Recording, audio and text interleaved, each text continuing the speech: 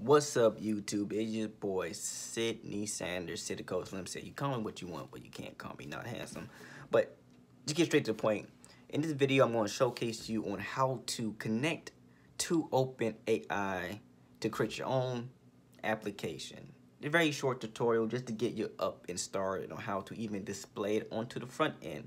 Without further ado, let's jump straight into it. Without being said, you're going to want to first sign up for an OpenAI account. And once you sign up for your account, go to navigate to examples.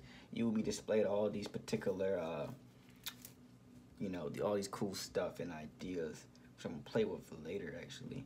But in this particular example, we're gonna play with chat, right? It's the most profound, it's the most um, idealized and um, necessary one, right?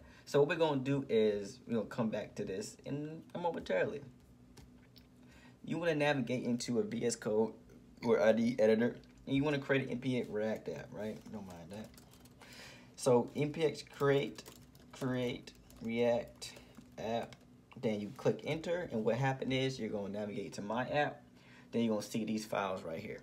Then go to source, go to app.js, and you'll be see something similar to me delete all that gunk a step app.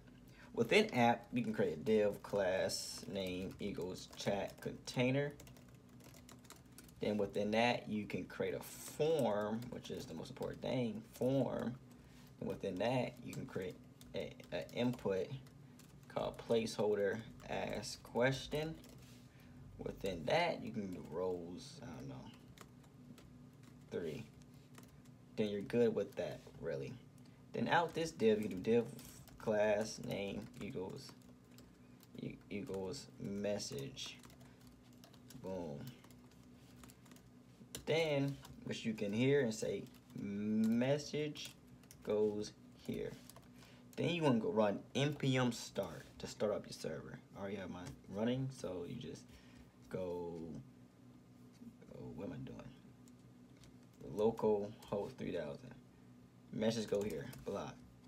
But let's actually create something first here. Let's create that a function, async function, handle submit. And this function is going to prevent it from submitting unnecessarily. So e dot prevent default. And we're actually good after that. Make sure it's good as console.log. Is this working? Let's go in here. Let's go to inspect element. Go to console. Hi. User message. User message. Hi. It's not working. You know why it's not working? Because we didn't add the function yet. So on submit, on submit, handle, submit. Then it's working. Cool. Next, you want to create a folder called server. Within this folder, you want to create a called server.js. Then you want to open a new terminal. You want to, let me close this one actually. Might confuse me. Terminal, then you want to cd the server. Then you want to npm install express. Let that come in npm install cors to send HTTPS request, npm install body parser, do parse what you get, then npm install open AI. Nice, nice, nice. Within here, let's initiate all our necessary variables before we even take the API. So let's do const express, express e equals require, express, const body parser equals require. Body parser const cors equals require. Cors all right all right all right. Let's create a port let's add the const port equals files and one. This is where we will be listening to um, for our backend right? This app.use parser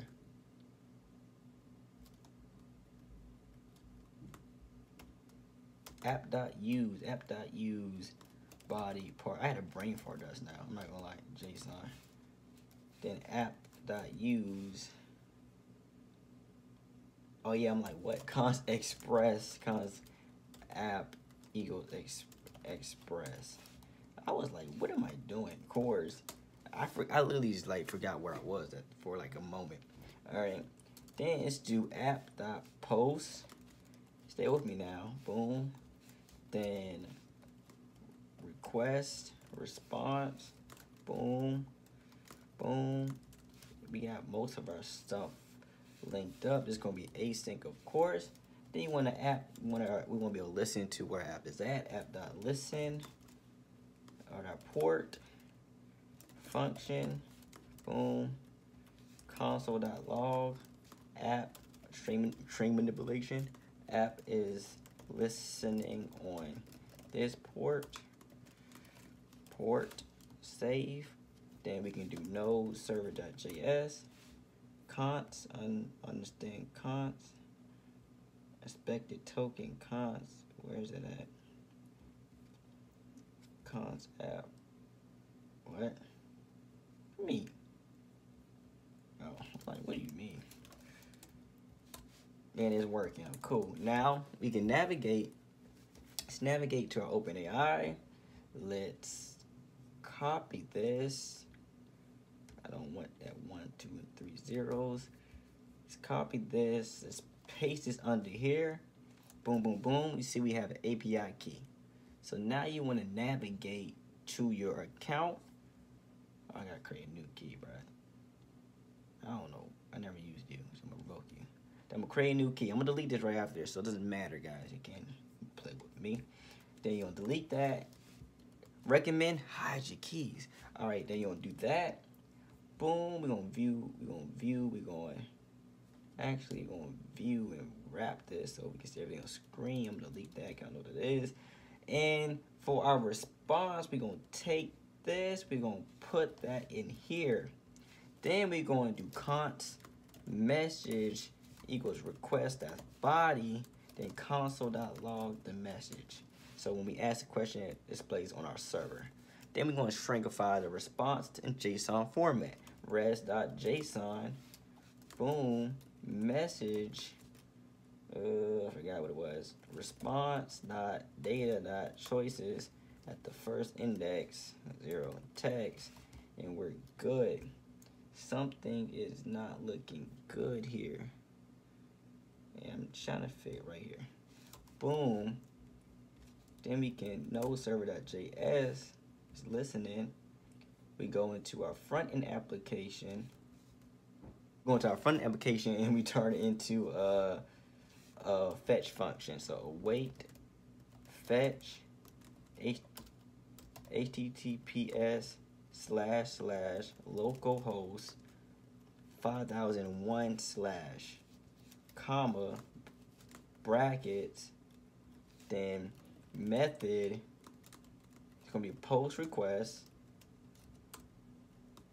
con no yeah headers it's going to be another object con content type yeah con content type application slash shin slash json boom. We're done here. Damn body. Json dash oh well i'm going too ahead of myself guys. We're getting a couple major features. Like what? We need to have a const message set message equals use state boom. After that a const get the response const response set response e equals use state boom. Then we go into here and do body. Json dot stringify our message that we're actually getting from here. But something's wrong here. Boom. Comma. Regoo here. Then, Lily, then we want to res response to dot JSON. Then, literally, we want the data, as we gonna call it, to be set response dot data dot message. Awesome, awesome. Then we just want to place our response here. Cool, and let's see if this works. See if this works. I'm lagging my, okay. Let's see if this works. Are you there? Didn't work. It failed to fetch from localhost 5000. Let's go to our node. Uh, HTTPS, that's why. Save. Ooh, lag. Console. Let's refresh it actually. Are you there? Localhost 5000. It's not working. There we go. Are you there? Are you there? There. Oh. No problem. And boom, you have it displayed on your front application. Now, again, prompt engineering, I'm going to show that in actually the next video. I know it's kind of dragged out. My kind of face kind of got tired. I've been recording like all day, guys. But I'm going to show the next video on prompt engineering. So like, comment if you're new, share if you want, and subscribe because you need to support me.